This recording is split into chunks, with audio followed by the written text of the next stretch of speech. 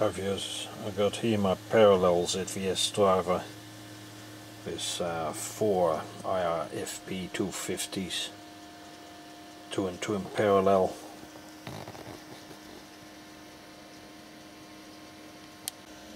I have a standard flyback in here in uh, 1647 nanofarad uh, condensers in 1680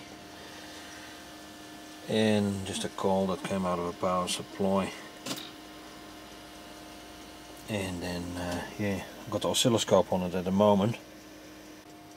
This is the gate voltage it's a 12 volt power source and I'll flick it over to 24 and then you can see the Zener effect. As the sine wave becomes a lot more square so the Zener is clamping. That means the 12 volt Zener is clamping at 24 volts here we just got a small arc at the moment. By putting a fan onto there you can create quite interesting effects. Turn the lights off.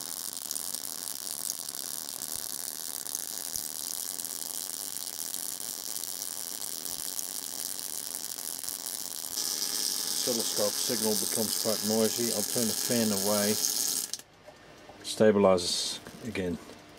So it causes a lot of interference. Okay I'll put the oscilloscope now on the, the casing of the uh, power MOSFET uh, we need to reduce the size a bit here I think. And we get this type of wave. It's quite a bit of heat generated as the copper glows we're doing about uh, 6 ampere, 5.5, 6 ampere. It's also visible in this digital meter here, 5.0 5.1. MOSFETs on heat, heat sinks above each other.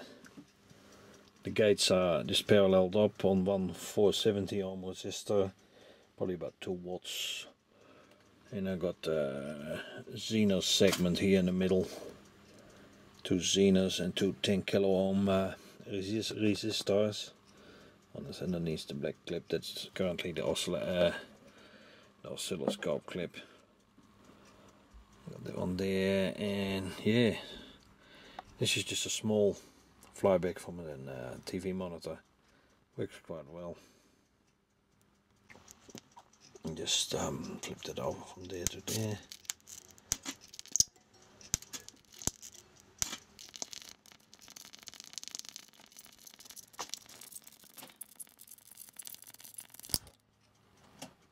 It's the Akib.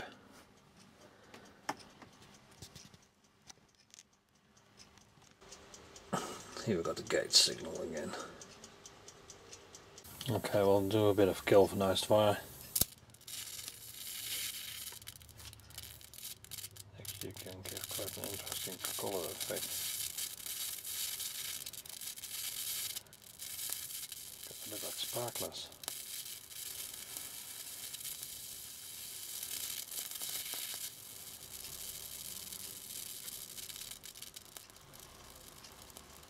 Quite cool.